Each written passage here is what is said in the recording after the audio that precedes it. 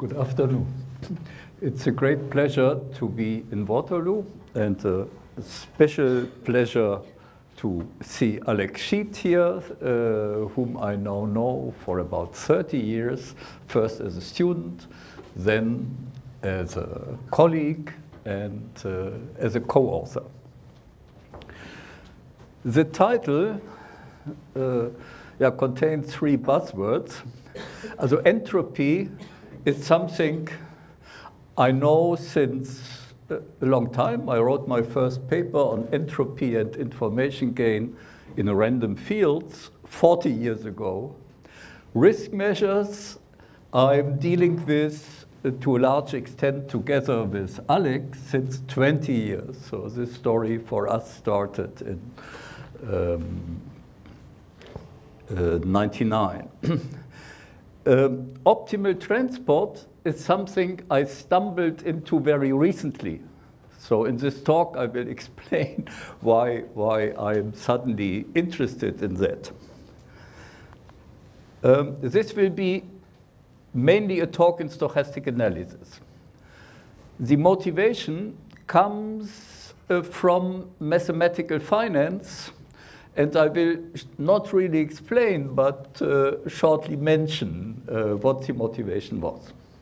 There is a whole literature in mathematical finance on financial bubbles in the usual setting uh, of an arbitrage-free but typically incomplete financial market where you have martingale measures.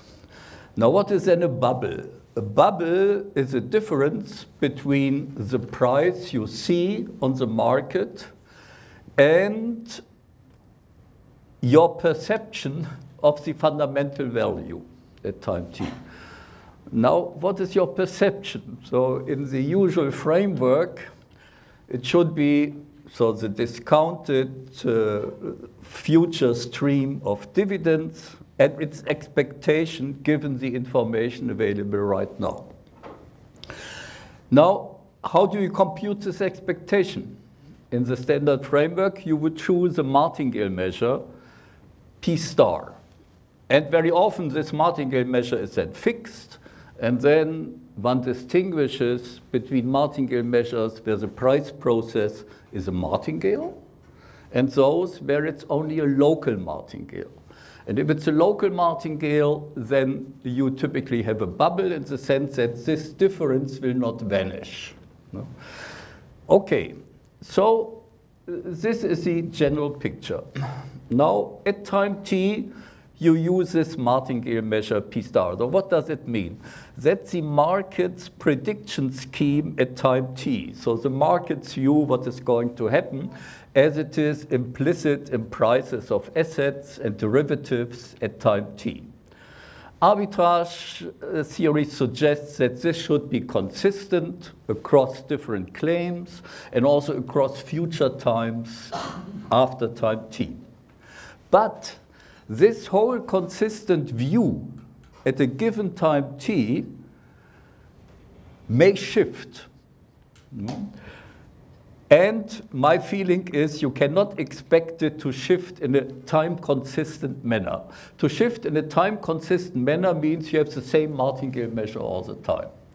But if you think of interaction effects, contagion effects, sudden uh, switches in the mood of the market, you come to the idea that you, think, that you should think of a dynamics in the space of martingale measures.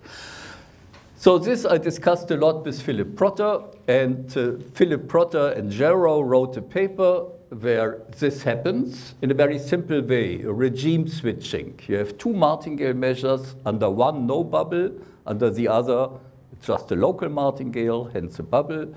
And for a while you have one, then you have a sudden switch to the other, and then again maybe, and uh, uh, they discuss that. In a paper with Francesca Biagini and Nedelcu, we did not this sudden regime switch, but a flow from one, from one martingale measure to the other. And that allows one to talk about the birth of a bubble. Because in the picture I showed you, if you fix the martingale measure, you have a bubble if that bubble is non-negative, but it will be a local martingale. A local martingale which is non-negative cannot start in zero. Otherwise, it's zero all the time. So that typical story does not explain the takeoff of a bubble. But if you introduce a dynamics in the space of martingale measures, yeah, you can talk about the birth of a bubble. Now, this suggests to us to take a closer look at the geometry in the space of probability measures, specifically martingale measures on path space, uh, for example, on Wiener space. So that was the motivation. And no, I knew there is this whole literature, Villani, Ambrosio, Otto. No?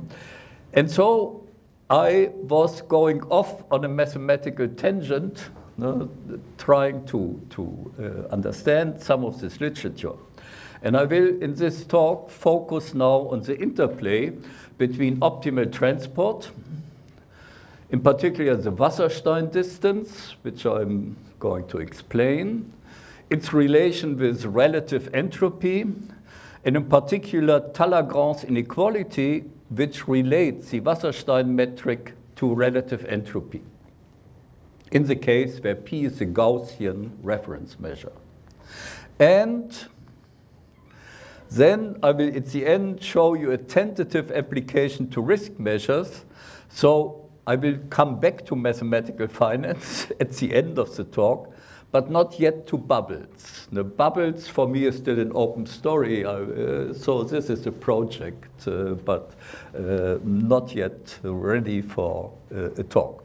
And all this I will discuss on Wiener space, so the canonical model for Brownian motion. So that's the idea. So I will start with a short recall on risk measures, the general structure of convex risk measures, and three examples. Then on entropy on Wiener space, then Talagrand's inequality, two ways of looking at it. I will show you the bottom-up approach in Talagrand's original paper and a top-down approach using directly on Wiener space stochastic analysis. Then Talagrand's inequality involves, on the right-hand side, the relative entropy.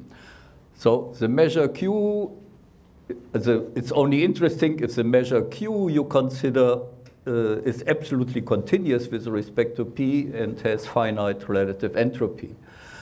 But there are good reasons to move beyond absolute continuity. And we will do this introducing specific relative entropy and a new rescaled version of Talagrand's inequality. And using this idea of rescaling, we will look at some rescaled risk measures on Wiener space. So first, convex risk measures.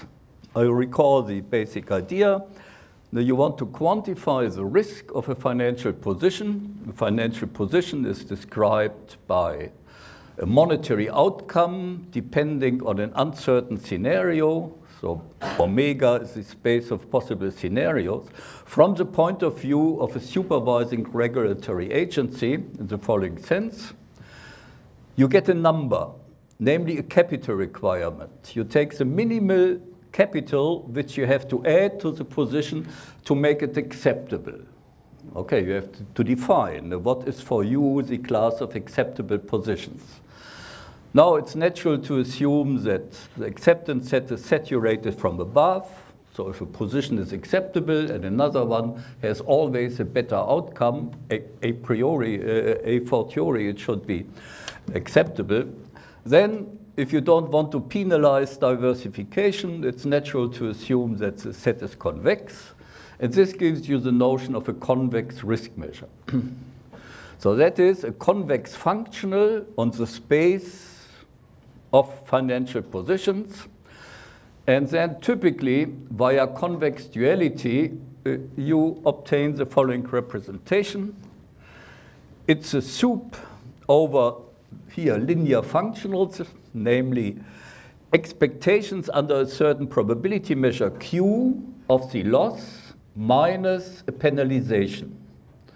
And you take the sup over some class of probability measures on your basic set of scenarios. And alpha is a penalty function which in principle to each probability measure on your space of scenarios associates a certain penalty. And so with this representation you view the risk as the worst penalized expected loss over some class of probability measures Q on your basic set of scenarios. So that's a general idea. Special case, your penalization is uh, sort of radical.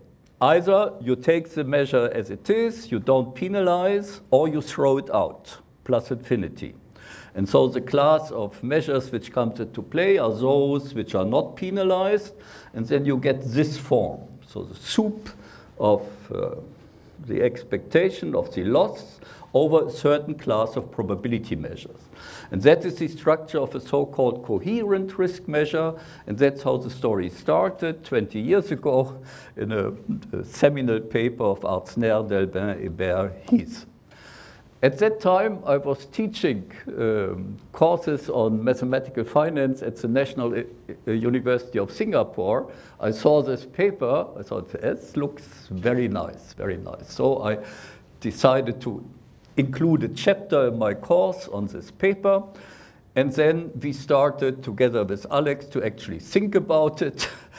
and uh, uh, we uh, did an extension to the general convex risk measures for various reasons, one I'm going to mention a little later. And independently, this was done by Frittelli, Rosazza, Gianin. Um, and so that is the general notion, this with a penalty function of a convex risk measure. Yeah, with a change of sign, uh, you, you obtain a nonlinear expectation in the sense of Shige Peng, and so that's closely related conceptually. From a mathematical point of view, there is a rich prehistory of this and many interfaces. In the 50s, Choquet integrals can be seen as a special case no, of coherent risk measures. Then in the actuarial literature on premium principles, also implicitly convex risk measures appear, for example, in a discussion of actuarial axiomatics for actuarial premium principles in a paper by Deprez and Gerber in Switzerland, but uh, the duality theory was not developed there. And in robust statistics, the book Robust Statistics by Peter Huber, the representation theorem for coherent risk measures appear with a statistical motivation. No? Because you work with a, simultaneously with a whole class of probability measures, this corresponds already to the idea of model ambiguity. And in the robust case, that's the starting point to think in terms of model ambiguity.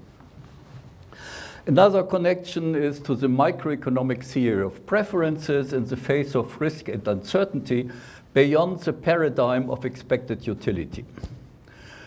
Now, at the level of expected utility, here's an example of an acceptance set. And that was our example, which seemed natural to us, which led us to relax coherence and to consider more general convex risk measures. It's natural from the classical point of view of expected utility theory to say a position is acceptable if the expected utility is above some threshold.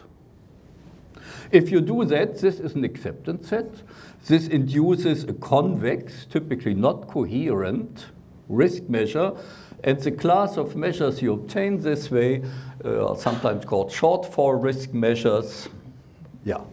So that's one connection. But there is a deeper connection, which I'm mentioning. So, so in microeconomic theory, you say, okay, we have two positions, we need a preference order. No? Then there are general conditions on the preference order which guarantee that this uh, partial order has a numerical representation in terms of a real valued functional. The classical axioms of rationality of von Neumann, Morgenstern, Savage, Aumann, Anscombe uh, are equivalent with a numerical representation by expected utility.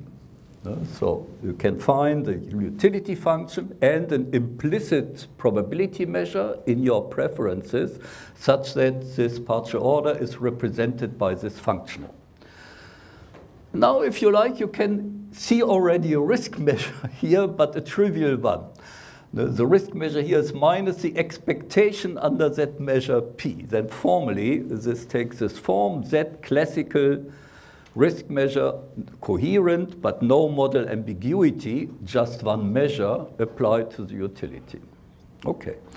Now, these classical axioms of rationality, since a long time, of course, were subject to discussion.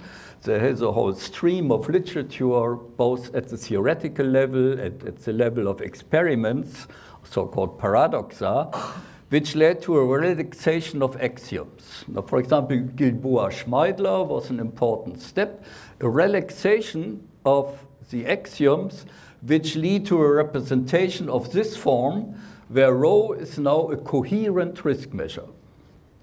And so the utility functional takes this form, the infimum over a certain class of probability measures of expected utility under the Q.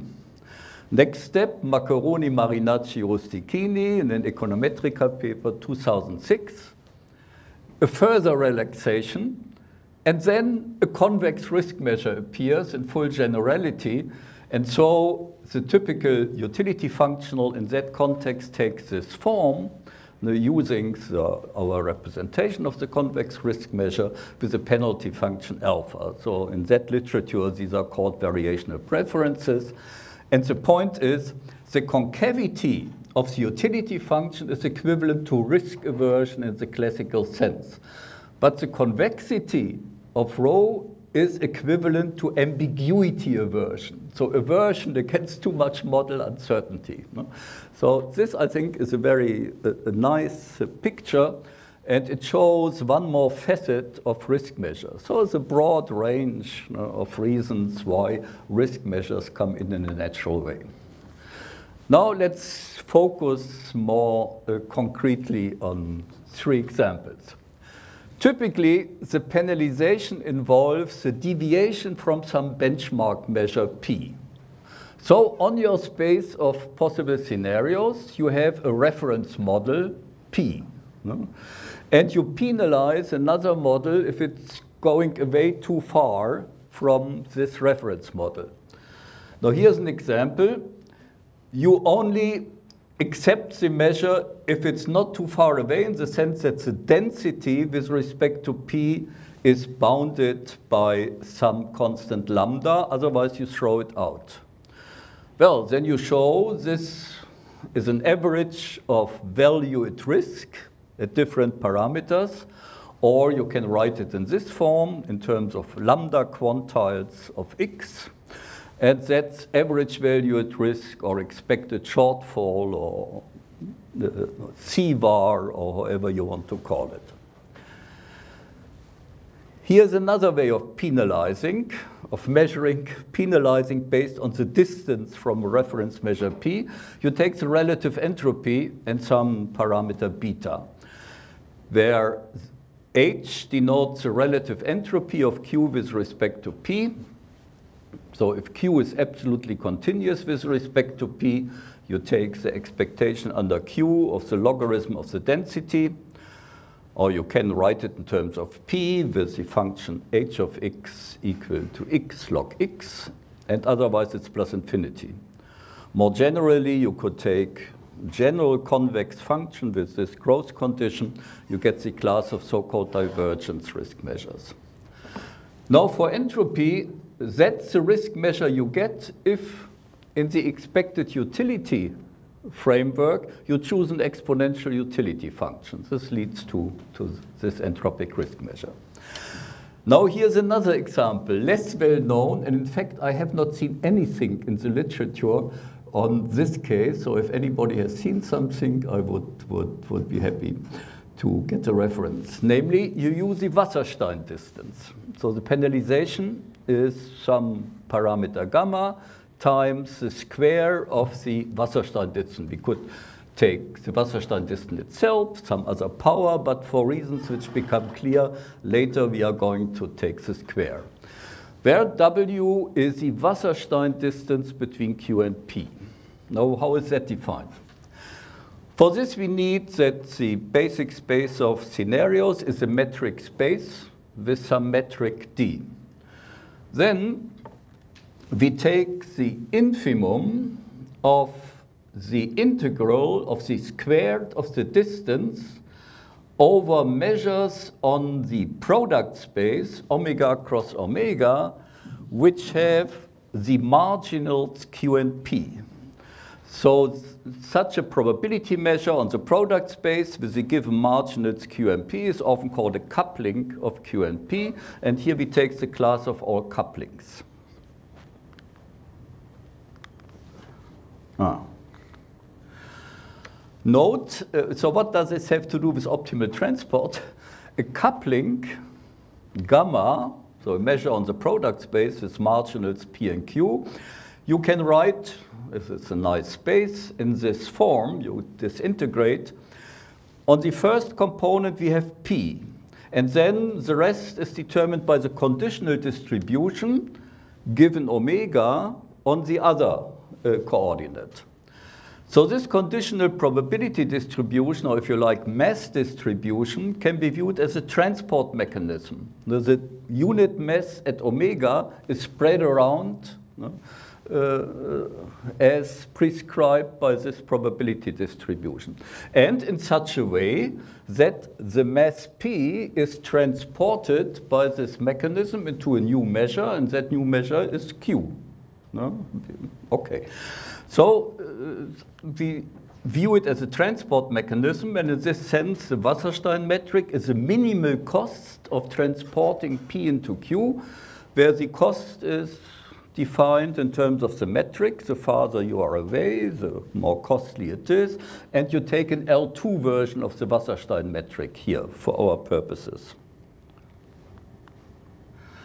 Note it's in the sequel it will be convenient to think of couplings also in this sense. On any probability space, take two maps into omega, which have the right distributions, P and Q, so that, and then you measure the expectation on that probability space of the squared distance between the image points. Same. Because for a product measure that gives you already such a situation with uh, the probability space is given by the product together with gamma. And conversely, if you have uh, such a coupling on some probability space somewhere, you simply take the joint distribution of x and y under that probability measure. Okay. And then we introduce the Wasserstein risk measure with parameter gamma with this penalty.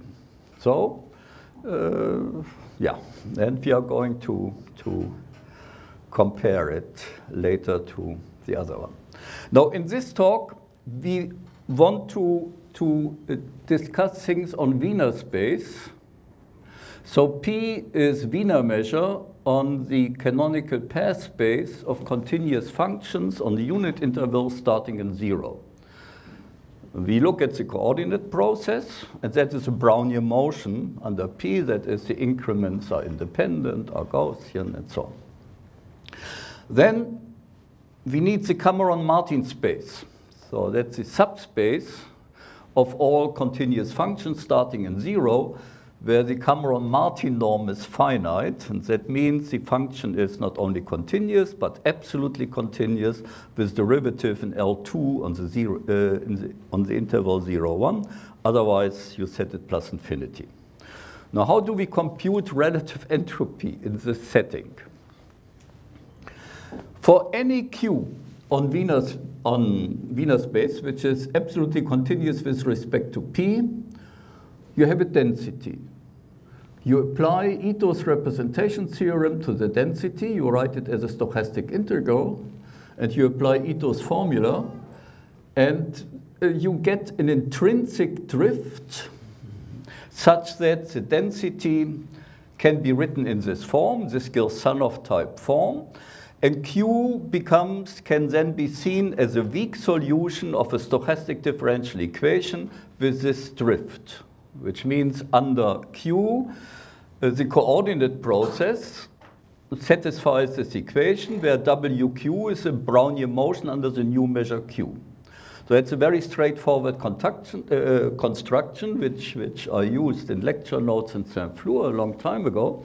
And recently I noticed there is a wave of citations for this construction in the optimal transport literature. So it turns out that it's useful and also we find it useful here. Now once you have that, the relative entropy is computed very easily because it's the expectation under Q of the log of the density.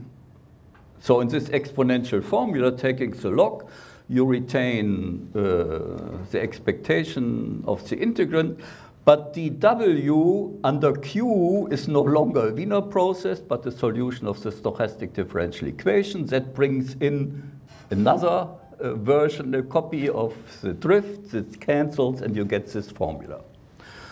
Yeah, if this uh, uh, stochastic differential equation happens to have a strong solution, then you can rewrite this in terms of Wiener measure P itself with a modified drift, but uh, uh, that's not so important for our purpose. Now, why, why do we care about entropy on Wiener space? Because entropy is a key to large deviations.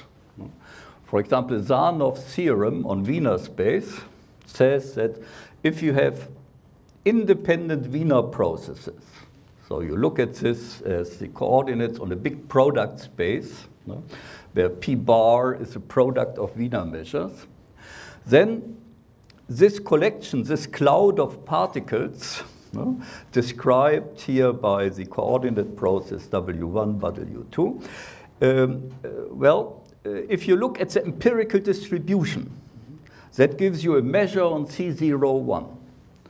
And by the law of large numbers, this uh, ergodic behavior, this converges weakly to P uh, almost surely.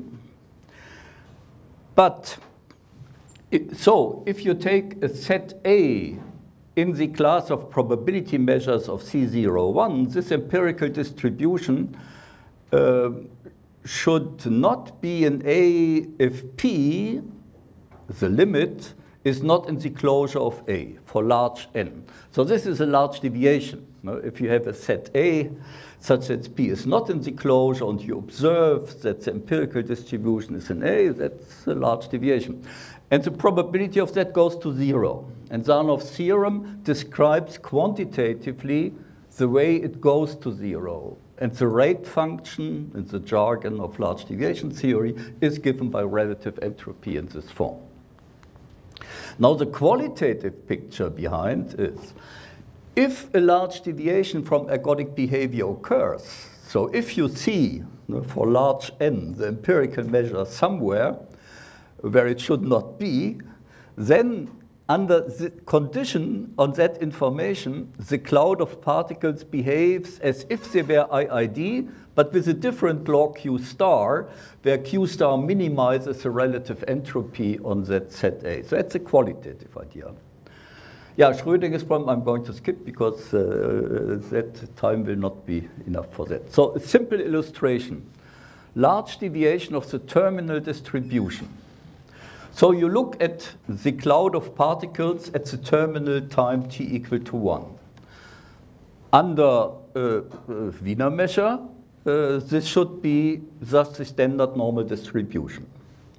A large deviation would mean you find that empirical distribution near some nu which is not equal to mu.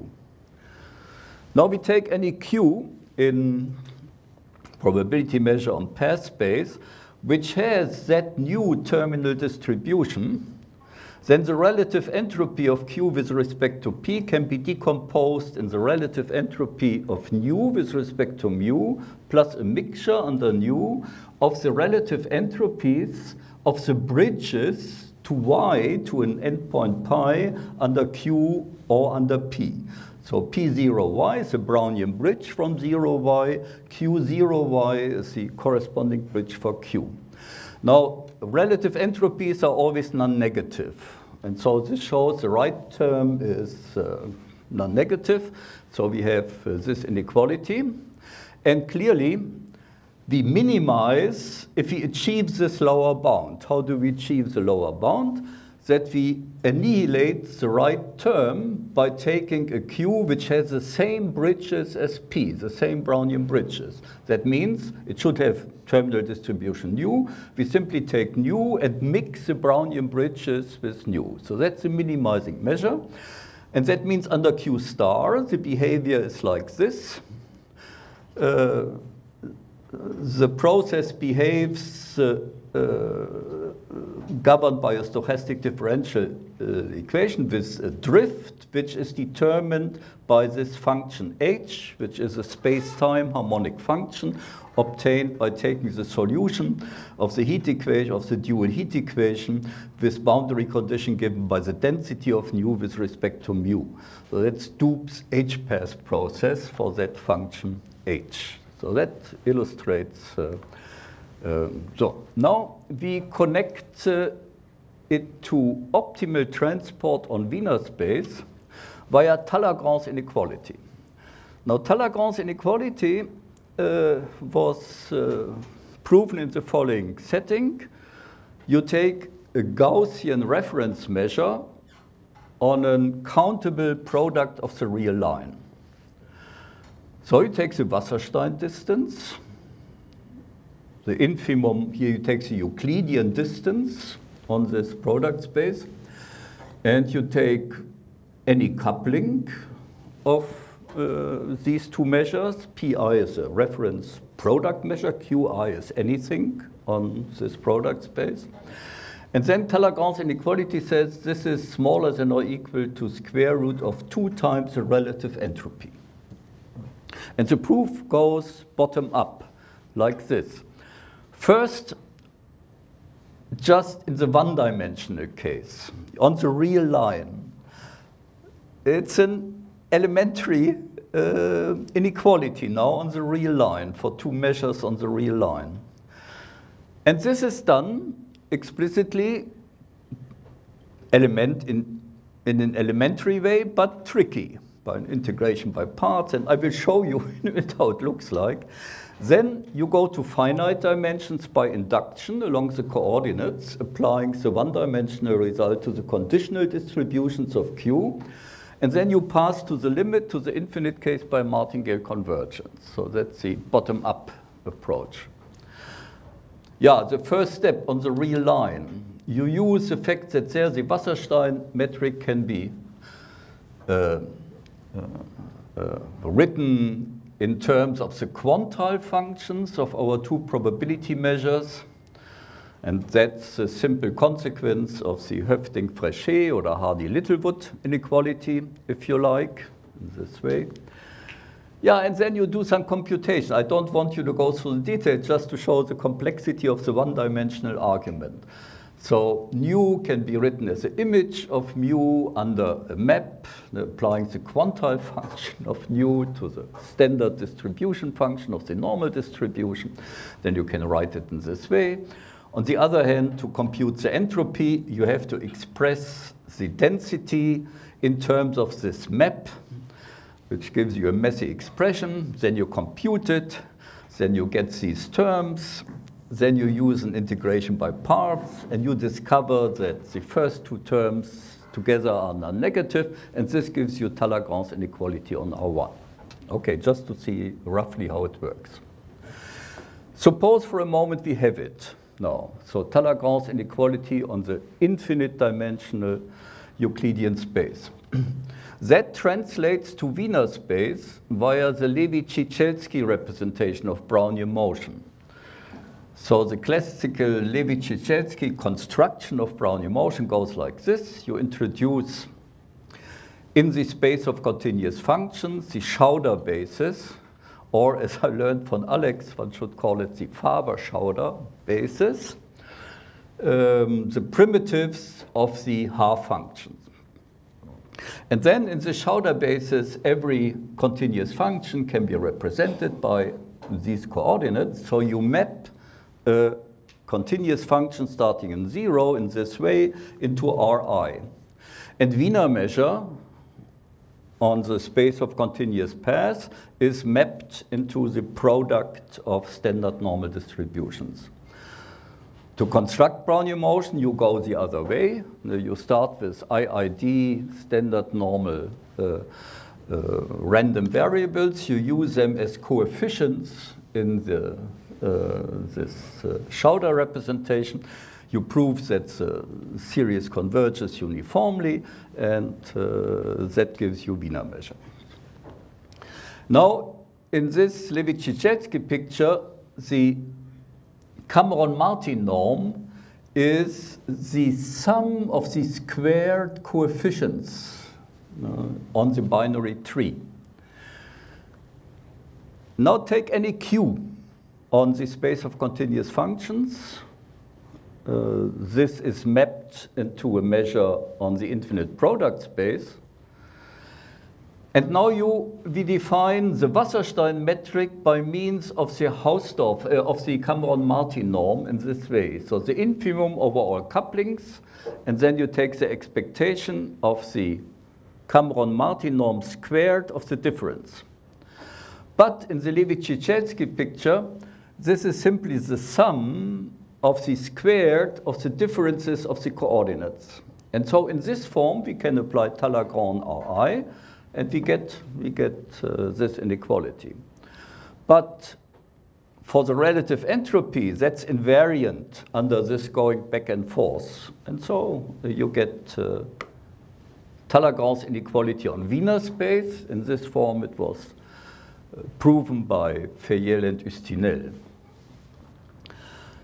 Now thinking of our risk measures, uh, this means that the entropic risk measure, where the penalty is given by the relative entropy, is always dominated by the Wasserstein risk measure with the right, right parameter, which is defined uh, in this way. So a first comparison between these two risk measures. Now I show you, instead of going bottom up, as I just sketched it, how we can do a direct proof on Wiener space, so to speak, top down, which is this argument is due to Lehec. This follows from the, our initial remark. If Q is absolutely continuous with respect to P, then using this intrinsic drift and the corresponding uh, uh, stochastic differential equation, if you take the Wiener, the new Wiener process under Q as X and the coordinate process as Y, this gives us a coupling of P and Q. No, because WQ is a Wiener process, so the distribution under Q is P, and under the coordinate process, the distribution under Q is Q. So uh, we get a coupling, and for this coupling, the expectation under Q of the Cameron-Martin norm squared is simply this, because the difference is uh, given by that drift term. And we have seen before that that is two times the relative entropy. And therefore, we immediately obtain that the infimum over all such couplings is dominated by two times the relative entropy. So no, no uh, uh, um, integration by parts and so on, a very direct uh, proof in a few lines. And of course, the one-dimensional argument follows as a special case by projection. No? So if you have nu and mu is the standard normal, if we take the Brownian as a Q as a mixture of Brownian bridges with nu, and P can be viewed as a mixture of Brownian uh, bridges with the standard normal distribution, then clearly, uh, well, you can write it out at the bottom of the page, the Wasserstein metric down on R1 is smaller than or equal to the Wasserstein metric squared upstairs. That is dominated by two times relative entropy. But as we have seen before in the large deviations example, in this setting, the relative entropy of Q with respect to P is simply equal to the relative entropy of nu with respect to mu. Okay, in fact, the coupling we get through the uh, intrinsic differential equation is in a sense which should be made uh, precise technically, but uh, I won't do that, an adaptive coupling.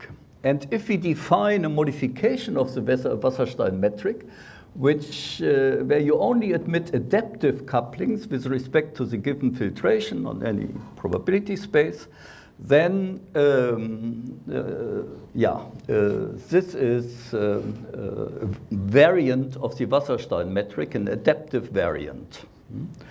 Uh, so the uh, definition of adaptive should be then transcribed in terms of the couplings uh, as product measures on the product space. This can be done. And then, of course, uh, the Wasserstein metric is smaller than or equal than the Wasserstein metric under this constraint of being adaptive. But here in the last step, this is exactly equal, the upper bound in Talagrand. So Talagrand's inequality becomes an equality if we throw in the constraint of an adaptive coupling. Okay. Um, yeah, so uh, we can uh, state this um, as an adapted version of Kantorovich optimal transport problem, minimize uh, this uh, um, uh, cost functional formulated in terms of the Cameron-Martin norm on Wiener space uh, over the class of adaptive couplings, and this is solved by the joint law of WQ and W under Q, where WQ is the intrinsic Wiener process belonging to Q via the stochastic differential equation. And the value is given by a square root of 2 times the relative entropy. Um, yeah, a classical illustration. Um, P, the Wiener measure, can be seen as a mixture of Brownian bridges. And let's take Q as a mixture of Brownian bridges with a different, different measure nu. So that's the law of Doob's H-path process, which we have seen before. Now, an adaptive coupling is given by the coordinate process and by x. Now, for x we get q, and for w we get p. And if we look now at um, the, um, the cost in terms of the Cameron-Martin um, uh, distance, we get two times the relative entropy of nu with respect to mu. And that's the best we can do under the adaptive constraint. But if we drop that, we can do better we can do an anticipative coupling. Also from the financial point of view, we are now reaching the, the, the chapter insider trading. What do you do with no, uh, additional information? There, we can represent nu as the image of mu under a certain map, no, using the quantile function of u. And we introduce now a new coupling where x wiggle, you take the Brownian path, you subtract t times the endpoint, so this gives you a Brownian bridge to zero, plus you add the linear connection to this new endpoint, and then you check this has log q. But if we do this, then now the, the uh, cost uh, is uh, different from before. It's given by the squared of this uh, function f, the difference of g and the identity, evaluated in W1, and the expectation gives us exactly the formula of the um, Wasserstein distance of squared of nu with respect to mu, which of course is smaller than by Talagrand, but in fact equal only if nu is a simple shift of the normal distribution by a constant. It's a simple translation. So typically for a general nu, we get strict inequality. So we get below the Talagrand bound, which is the optimal bound under the adaptive constraint. So anticipation know, here allows you to, to improve. Now so far, we have only looked at measures Q which have relative entropy which is finite. Now thinking about the original motivation, if we think of martingale measures on uh, path space C01, if a martingale measure is not equal to P, then it must be singular to P. There's only one equivalent martingale measure, namely P itself. No? Because uh, then it has a different quadratic variation. Otherwise, it would be P by Levy's theorem. And that means uh, you are no longer absolutely continuous with respect to P because P fixes the volatility pattern. And that means the relative entropy is infinite, infinity, so, so it does not give useful information, uh, what we did so far on, on martingale measures, uh, if you are interested in that. So that's the reason to go beyond uh, absolute continuity. And we do this in the following way. we take a dyadic partition of the unit interval. Fn is the information obtained just by observing the path along that discrete partition. Then the quadratic variation along this dyadic partition is defined in this term. And on the dyadic tree, this can be represented as uh, 1 over 2 to the n, the sum of the squared coefficients up to level n in our dyadic tree. We go from level to level up to level n. And so the existence of a quadratic variation for a path hmm, amounts to a law of large numbers on the dyadic tree. And of course, if you have Wiener measure, then these coefficients are IID, and trivially, we have a law of large numbers. That's one way of checking the existence of quadratic variation.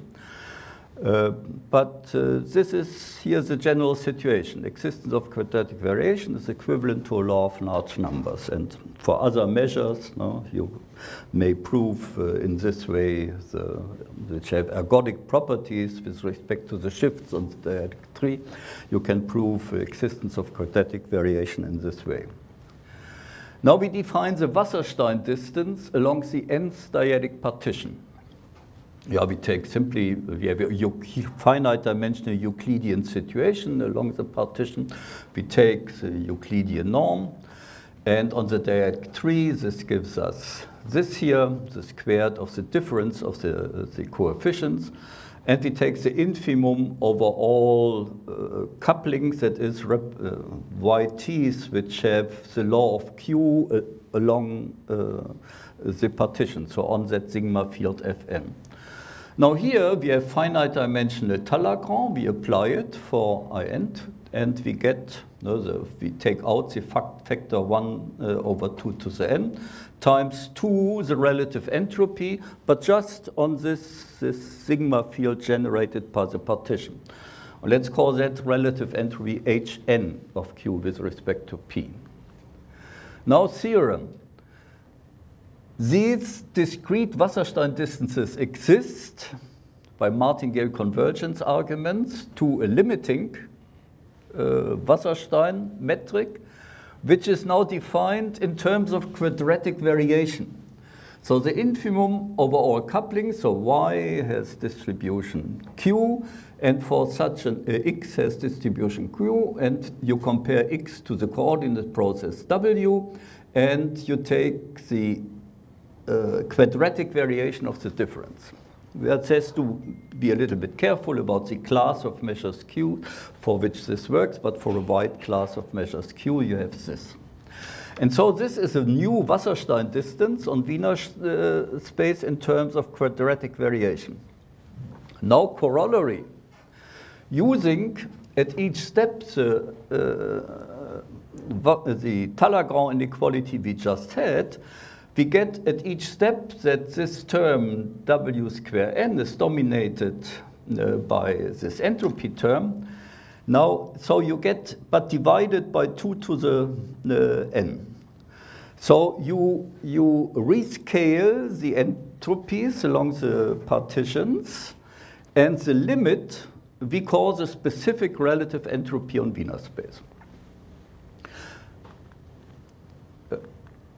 Now, this has been introduced by Nina Gantert, in, uh, one of my students in Bonn, uh, in her thesis, with a different motivation, no connection to Wasserstein, uh, there, uh, the specific relative entropy is a key to large deviations in the ergodic behavior uh, uh, in the convergence of quadratic variation, in this sense to Lebesgue measure.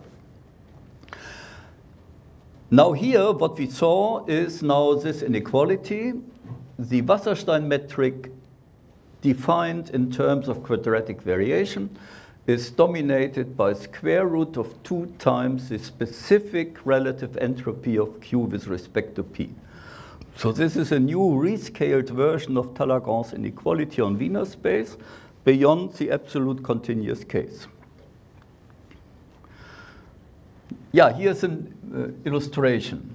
Um, Q, uh, uh, take a very classical question, the question of Cameron-Martin.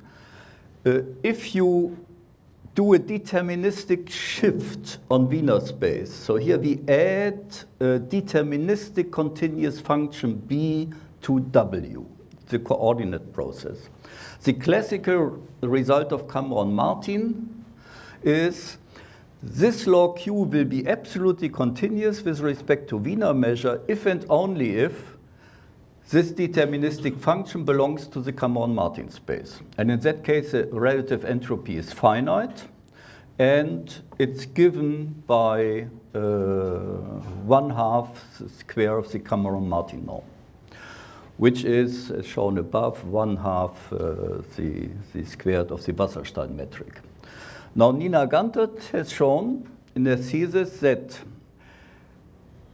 the relative the specific relative entropy is finite if and only if this deterministic function is not necessarily absolutely continuous, but has quadratic variation. The quadratic variation exists along dyadic partitions, and then you have this relation. So I skip this. Now finally, uh, I come back to a little bit of mathematical finance by looking at our risk, two risk measures, the entropic risk measure and the Wasserstein risk measure. But now for the entropic risk measure, we want to replace relative entropy by specific relative entropy.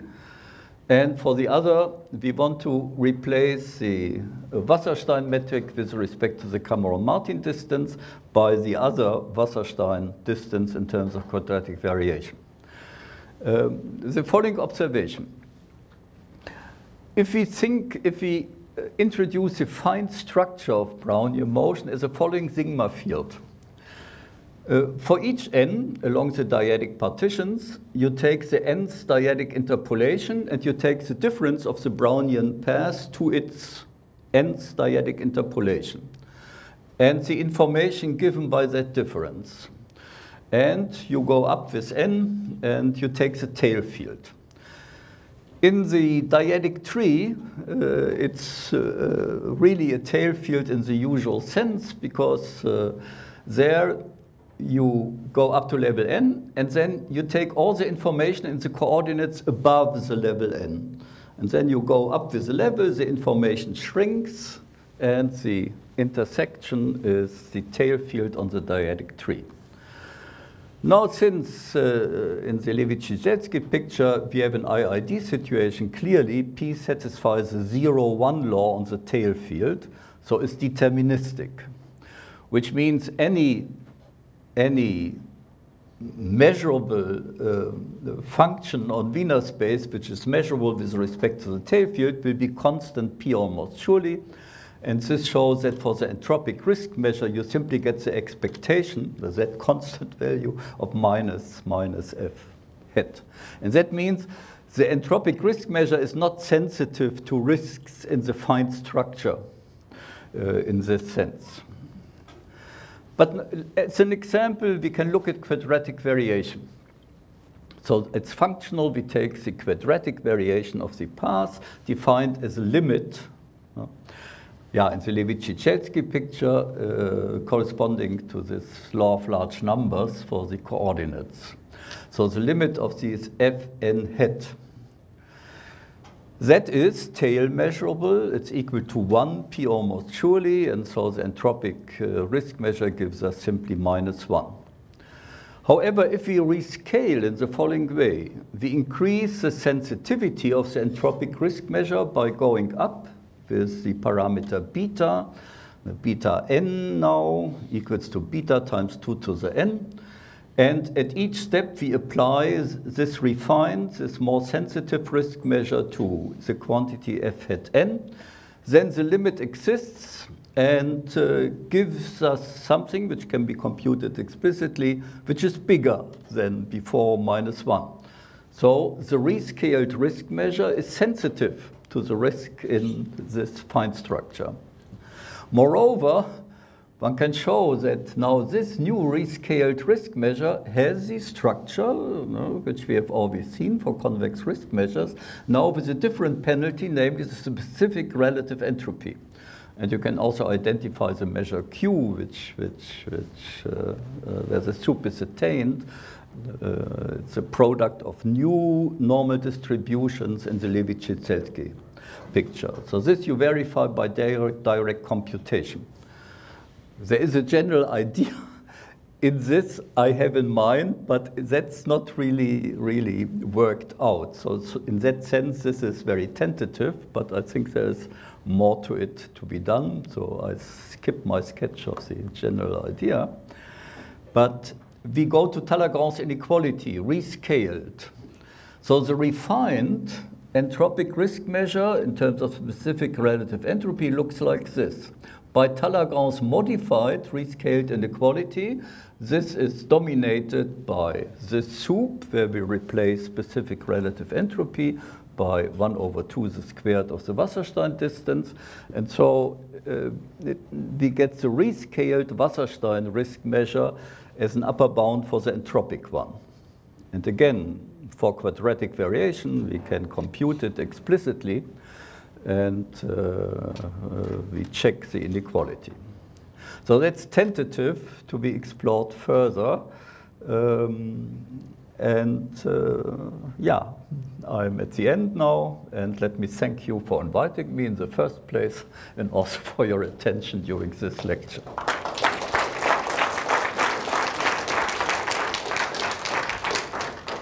Thank you very much, Hans. There's time for two questions. Hi. Hans, thank you so much for this talk. It was very, very interesting and uh, very eye-opening. I, am just wondering if there's a way to extend the rescaled Wasserstein uh, um, risk measure to non-necessarily Wiener space uh, uh, settings. Or what is your intuition about such an extension? Um,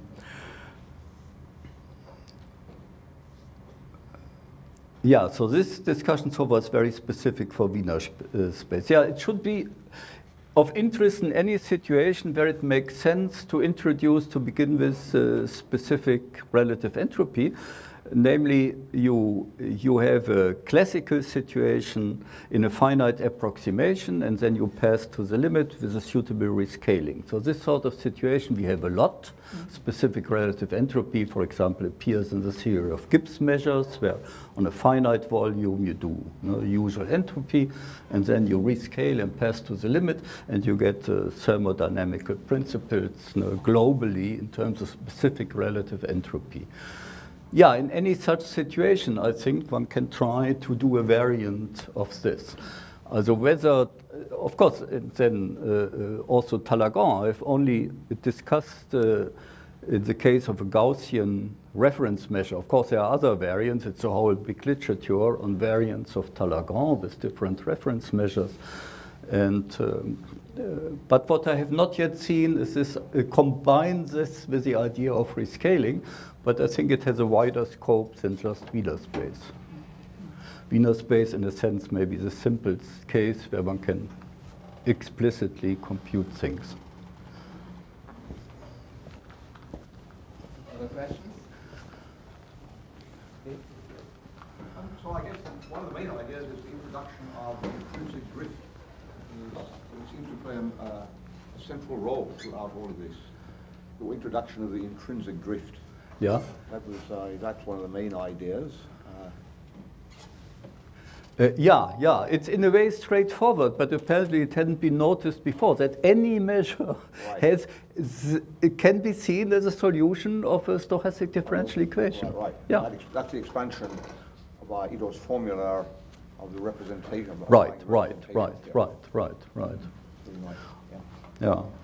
Also, uh, I, when I wrote I thought not a big deal, and then went on to do things with it. But recently, a number of people uh, quote it and use it and say uh, it's even called Föllmer's drift, which I find exaggerated because too much credit for a small thing.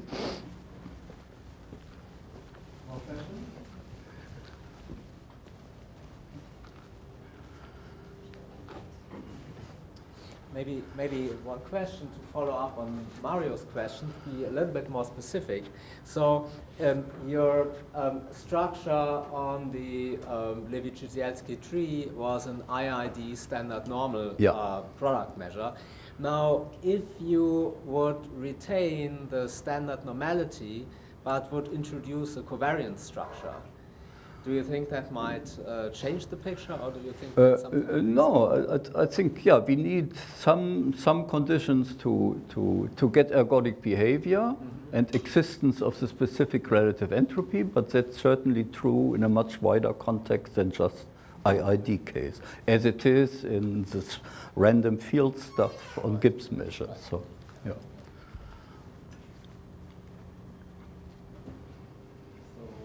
there are no more questions, then let us thank the speaker again. Thank you.